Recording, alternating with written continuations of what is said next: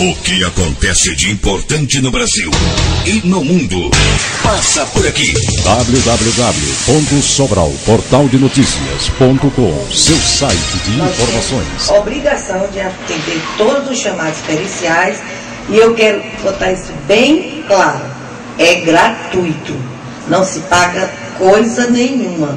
Nossos laudos são entregues na delegacia e são todos gratuitos. As pessoas têm todo o direito a ir pegar o laudo e levar para a justiça, caso ele seja um laudo que ele possa levá-lo da delegacia. Nós não damos nem sequer xerox lá no nosso núcleo, porque hoje, atualmente, nosso núcleo chama-se Núcleo de Perícias Criminais de Sobral, Ceará. Nós somos cinco peritos, somos todos obrigados a irmos a locais que nos chamam com vítimas fatais ou com lesões, a homicídios, arrombamentos e outras perícias que o juiz nos peçam, mas todas gratuitas ao público em geral. Não tem A ou B que vai pagar, não. E esse laudo, doutor, e esse laudo, no caso, ele é oferecido, é entregue somente a alguém da família, da vítima? Mas o senhor fala o laudo de perícia sim. ou o laudo cadavérico, porque a perícia é uma coisa e o laudo cadavérico é do IML, dos médicos legistas. Certo, mas vamos aqui no caso, porque eu, veja bem, nós temos vários casos que já passaram, inclusive aqui no programa, sobre o seguro de PVAT, certo? E que terceiros, ou seja, o dono de um escritório que trabalha com seguro de PVAT, chega lá no Instituto Médico Legal, aí tem acesso o laudo. Porque a informação que recebemos é essa, que só é entregue se for alguém da família da vítima. E acredito que aí seja referente a esse documento para dar entrada ao seguro do DPVAT. Não, o nosso laudo é um, o laudo do IML é outro. O nosso laudo, eu vim aqui para esclarecer para vocês que o laudo pericial de trânsito é um. Sim. O laudo de, do IML é outro. Eu não sei nem como é que é feito lá os laudos, eles é outro departamento, não é o nosso. Apenas nós trabalhamos no lado esquerdo de quem entra do núcleo, porque pertence a um só. Nós somos, o nosso núcleo se divide em identificação, perícias criminais, que é a minha, e, e- e do médicos legista, que é o INL, como vocês conhecem, Uhum. que agora chama-se Núcleo de Ciências Forenses do Ceará.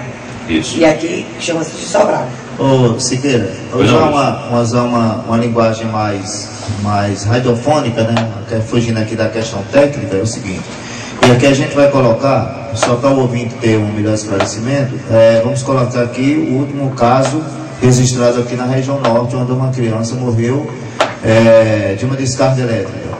É, na verdade, o que é, causou a morte, ou, o que causou a morte da, da criança? Foi uma parada cardiorrespiratória? Foi problema, é, vamos dizer, é, houve convulsão, essas coisas todas, isso aí cabe ao Instituto Médico Legal. O local onde aconteceu o acidente, aí é onde entra o trabalho da doutora É, nós somos Pronto, aí no caso do acidente de trânsito, ela não vai lá para examinar o corpo, certo? Ela vai lá para examinar o local do acidente e autorizar a remoção do corpo daquele local para que seja levado ao IML, para que o, exame, o IML faça o exame cadavérico. Mas essa perícia, é o que ela disse agora, não é pago, né? Não é pago. Não. Nem Sua casa foi arrombada e aí você vai precisar do trabalho da perícia, a perícia vai lá na sua casa. Olha, eu estou precisando estar aqui, minha casa, não toquei nada, está aqui. Então, a perícia que vai fazer, vai constatar de que realmente houve um arrombamento, que deixaram impressões digitais, etc, etc, para que possa ajudar o trabalho da polícia. Mas aí é que está, doutora, que nós já recebemos aqui várias denúncias de que esse trabalho de vocês é pago. Não.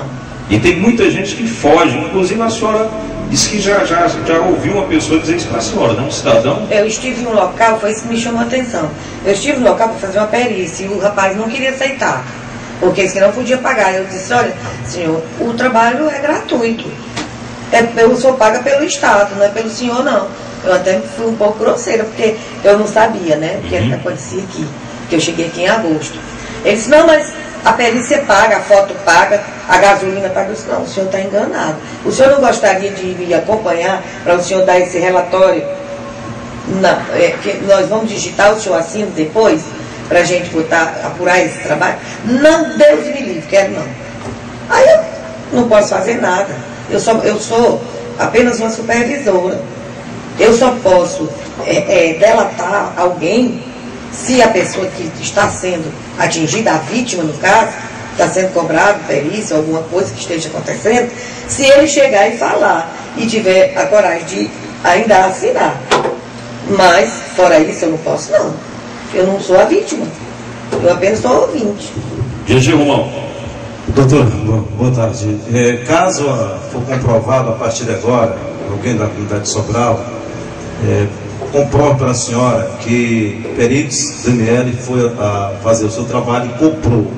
O que, que a senhora, como supervisora, quais são as finalidades que esse perito pode tomar? O que pode acontecer com ele?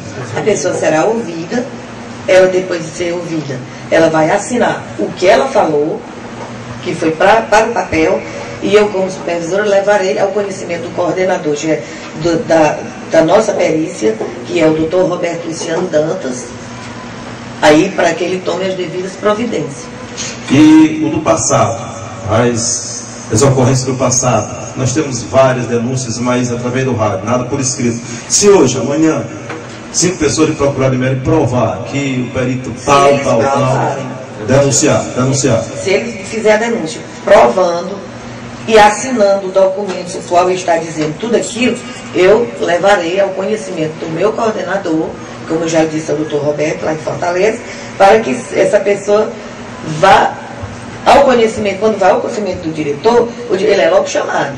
Ele lá, ele vai se explicar, vai se defender, caso seja mentira ou verdade. Mas é isso, a vítima tem que ser por escrito, porque verbalmente Vai entrar alguma coisa? É que tem, vai resolver. E tem algo a ver com a questão prescreveu a denúncia? Olha, Ou não, não precisa? Eu estou chegando aqui agora. Por sinal, eu não sabia de nada disso. Estou sabendo porque vocês estão aqui comentando para mim. Adorei vocês me chamarem aqui, porque aí vai esclarecer para a população de Sobral, do Iapoque ao Ichuí aqui dentro, que nossas perícias de trânsito, principalmente, não são pagas. Não é para pagar fotografias, porque as fotografias são batidas por nós peritos. Eu sou perita de rua também, apesar de ser supervisora. Eu faço perícia de rua, porque senão estou de plantão hoje. Eu bato a fotografia no local.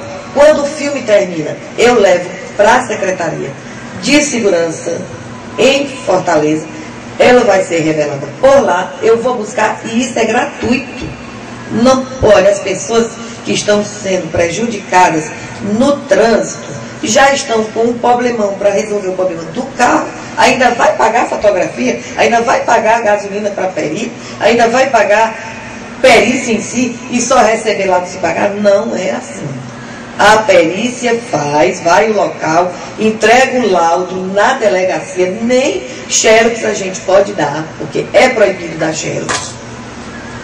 Ele vai na delegacia, nós damos o número do laudo quando é confeccionado, ele vai na delegacia, o laudo já está pronto, aí lá ele vai conversar com o delegado se tiver inquérito ou não.